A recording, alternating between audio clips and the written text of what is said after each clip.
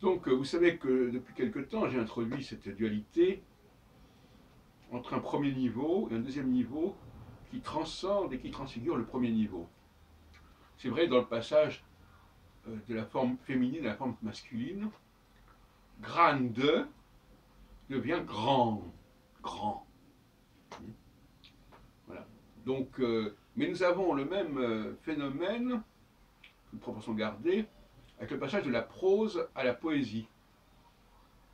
Moi qui travaillais sur les rapports, sur la formation des centuries Nostradamus, des quatrains Nostradamus, je montrais que la prose qui est à l'arrière-plan des quatrains euh, a été utilisée par les quatrains qui les ont transformés, qui ont transformé cette prose.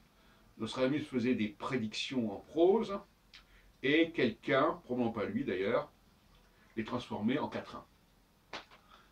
Et ça, ceci, c'est une transmutation intéressante. Donc, une sorte d'alchimie de la grammaire française, notamment, parce qu'on ne trouve pas forcément dans d'autres langues. Euh, on trouve également cela avec la traduction, si on veut, de manière. Et même on dit les traducteurs sont des traîtres, mais c'est pas faux, et c'est nécessaire. La traîtrise est une bonne chose, finalement, quand il s'agit de transfigurer, de transcender, de transformer un point de départ et lui donner une autre dimension supérieure. Et euh, donc les traducteurs sont des gens qui euh, ont transfiguré le texte d'origine, en passant dans une autre langue d'ailleurs, généralement. Et euh, là encore, on a dans Nostradamus la même chose, puisque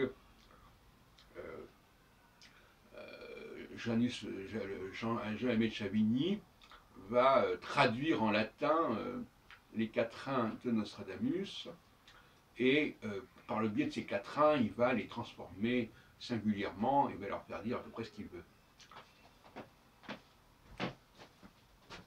494.